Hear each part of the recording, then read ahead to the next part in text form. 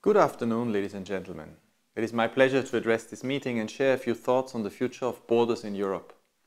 Looking at the experiences of Schengen, the future of visa liberalization, the relationship between freedom and security, and finally the big issue of today, the question of whether borders can be controlled and smugglers stopped while respecting the core of the Refugee Convention, the, non, the principle of no pushbacks of those in need of protection.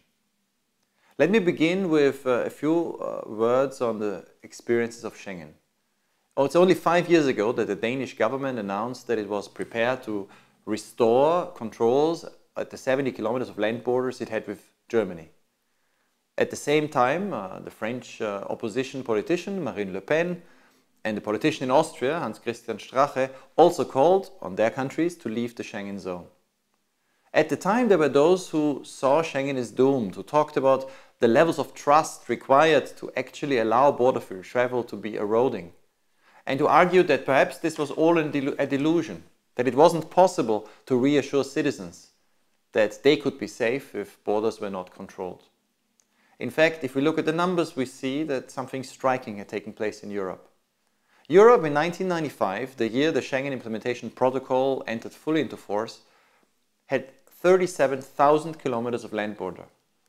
By now, of this, 17,000 kilometers had become Schengen borders and were no longer controlled.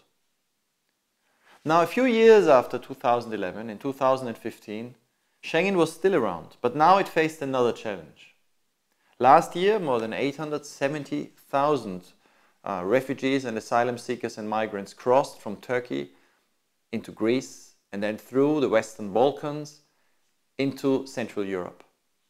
There were many who saw the restoration of border controls at the time between Hungary and Austria and Austria and Germany and Denmark and Sweden as the sign that the vision of borderless travel in Europe was uh, once again doomed. And yet now we are in 2016, the number of irregular refugee movements have gone down and uh, Schengen is still around. And that is because Schengen was always built on the idea that it was possible to combine security with freedom.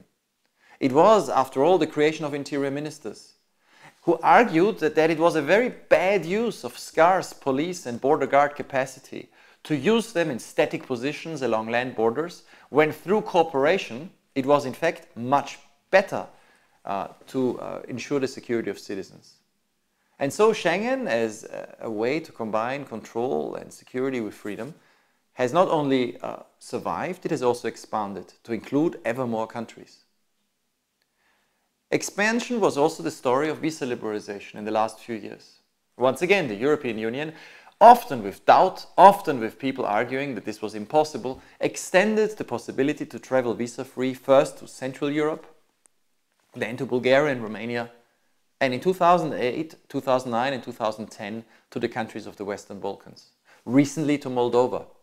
And in the next two years, it is very likely that the European Union will extend visa-free travel to countries like Georgia, Kosovo, Ukraine and Turkey.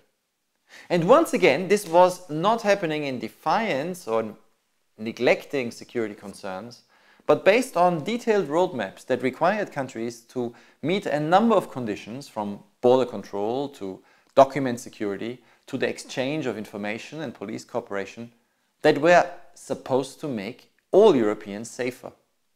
And the result of this has been that since visas were lifted, nowhere were visas restored. Visa liberalization, like Schengen, has made borders in Europe more permeable for travelers.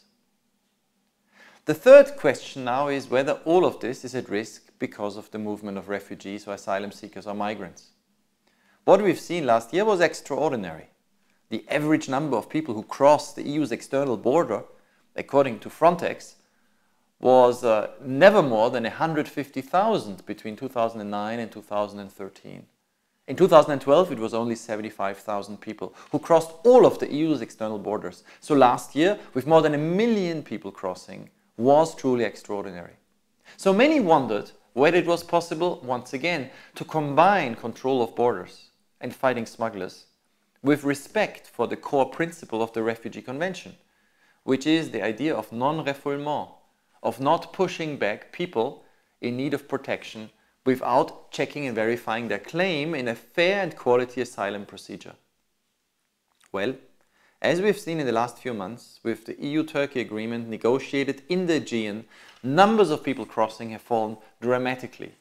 From 1,400 on the 18th of March, when this agreement was reached, to 50 a day on average in the warm summer months of May, June and July. Now, the idea of non-refoulement was preserved. Nobody who applied for asylum in Greece was pushed back to Turkey or sent back to Turkey without a procedure. In fact, very few people were sent back. And the future of this agreement rests today on the matter of whether Turkey succeeds in becoming a fully, transparently safe third country for the people on the five Aegean islands. Whether Turkey can guarantee that a Syrian, or Afghan or Iraqi sent from Lesbos back to Turkey is able, if he's an Afghan or Pakistani, to get the same sort of access to an asylum procedure that they would get in Poland, Ireland, or anywhere else in the European Union. But if Turkey succeeds in this for the few thousand people now on the Aegean Islands, and if the EU meets its commitments of uh, spending 6 billion euros on uh, supporting refugees in Turkey and on readmitting and resettling refugees, uh, resettling refugees from Turkey, uh, Syrian refugees in an orderly way, if this agreement is fully implemented, it could demonstrate that once again it is possible to combine control with freedom, control with empathy, and control of borders and concerns about irregular crossings with respect for the Refugee Convention. This is important because Europe is today the continent in which these experiments uh, have been carried the furthest, in which, to the benefit of citizens, borders have changed their meaning. But Europe is also the continent in which the largest number of people in all industrialized countries have received protection according to the Refugee Convention. For Europe to become a fortress would be uh, extremely difficult to sustain and uh, a moral challenge. Let me close with a story from one European border I know well, the border between Austria and Switzerland. A few decades ago, uh, a Swiss border guard, Paul Grüninger, was dismissed from his job in 1941 because at that time he had allowed more than 3,500 Jewish refugees from Austria, then occupied or annexed by Hitler's Germany, to cross into Switzerland into safety. Grüninger was fired. He justified himself by saying that this was a matter of life and death. He lost his pension and in 1972 he died an impoverished man. He was later rehabilitated. This principle he's upheld, he's upheld, the idea that there is a responsibility to rescue, became the core principle in the Refugee Convention in 1951. It is the principle Europe is committed to uphold. So here we are, a continent in which people have always seen Schengen in crisis, have always worried about lifting visa, and are today arguing that perhaps it is not possible to combine principles of asylum with border control and yet also a continent where with hard work, political persuasion and the cooperation between interior ministries, it has been possible to extend the realm of freedom. Whether this will remain the case, we will see. There is a lot at stake. And the EU-Turkey agreement and what is happening in the Aegean is certainly one of the key areas to watch. And I wish that in your debates you will explore these issues further and hopefully arrive at even more conclusions and recommendations that will increase the idea of Europe as a space of permeable borders for its citizens and for everybody who lives here. Thanks a lot for your attention.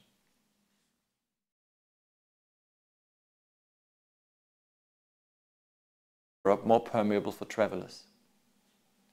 The third question now is whether all of this is at risk because of the movement of refugees or asylum seekers or migrants. What we've seen last year was extraordinary the average number of people who crossed the EU's external border, according to Frontex, was uh, never more than 150,000 between 2009 and 2013. In 2012, it was only 75,000 people who crossed all of the EU's external borders. So last year, with more than a million people crossing, was truly extraordinary. So many wondered whether it was possible, once again, to combine control of borders and fighting smugglers with respect for the core principle of the Refugee Convention, which is the idea of non-refoulement, of not pushing back people in need of protection without checking and verifying their claim in a fair and quality asylum procedure. Well, as we've seen in the last few months, with the EU-Turkey agreement negotiated in the Aegean, numbers of people crossing have fallen dramatically. From 1,400 on the 18th of March, when this agreement was reached, to 50 a day on average in the warm summer months of May, June and July. Now, the idea of non-refoulement was preserved. Nobody who applied for asylum in Greece was pushed back to Turkey or sent back to Turkey without the procedure. In fact, very few people were sent back. And the future of this agreement rests today on the matter of whether Turkey succeeds in becoming a fully, transparently safe third country for the people on the five Aegean islands. Whether Turkey can guarantee that a Syrian, or Afghan or Iraqi sent from Lesbos back to Turkey is able, if he's an Afghan or Pakistani, to get the same sort of access to an asylum procedure that they would get in Poland, Ireland, or anywhere else in the European Union. But if Turkey succeeds in this for the few thousand people now on the Aegean Islands, and if the EU meets its commitments of uh, spending 6 billion euros on uh, supporting refugees in Turkey and on readmitting and resettling refugees, uh, resettling refugees from Turkey, uh, Syrian refugees in an orderly way, if this agreement is fully implemented, it could demonstrate that once again it is possible to combine control with freedom, control with empathy, and control of borders and concerns about irregular crossings with respect for the Refugee Convention. This is important because Europe is today the continent in which these experiments uh, have been carried the furthest, in which, to the benefit of citizens, borders have changed their meaning. But Europe is also the continent in which the largest number of people in all industrialized countries have received protection according to the Refugee Convention. For you again doomed. And yet now we are in 2016, the number of irregular refugee movements have gone down and uh, Schengen is still around. And that is because Schengen was always built on the idea that it was possible to combine security with freedom. It was, after all, the creation of interior ministers who argued that, that it was a very bad use of scarce police and border guard capacity to use them in static positions along land borders when through cooperation it was in fact much better uh, to uh, ensure the security of citizens. And so Schengen, as a way to combine control and security with freedom, has not only uh, survived, it has also expanded to include ever more countries. Expansion was also the story of visa liberalization in the last few years. Once again, the European Union, often with doubt, often with people arguing that this was impossible, extended the possibility to travel visa-free first to Central Europe, then to Bulgaria and Romania, and in 2008, 2009 and 2010 to the countries of the Western Balkans, recently to Moldova. And in the next two years, it is very likely that the European Union will extend visa-free travel to countries like Georgia, Kosovo, Ukraine and Turkey.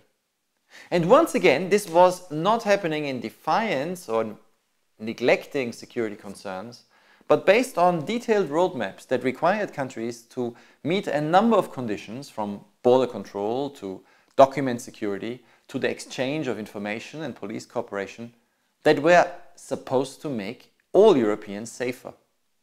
And the result of this has been that since visas were lifted, nowhere were visas restored. Visa liberalization, like Schengen, has made borders in Europe more permeable for travelers. The third question now is whether all of this is at risk because of the movement of refugees or asylum seekers or migrants. What we've seen last year was extraordinary. The average number of people who crossed the EU's external border, according to Frontex, was uh, never more than 150,000 between 2009 and 2013. In 2012, it was only 75,000 people who crossed all of the EU's external borders. So last year, with more than a million people crossing, was truly extraordinary. So many wondered whether it was possible, once again, to combine control of borders and fighting smugglers with respect for the core principle of the Refugee Convention, which is the idea of non-refoulement, of not pushing back people in need of protection without checking and verifying their claim in a fair and quality asylum procedure.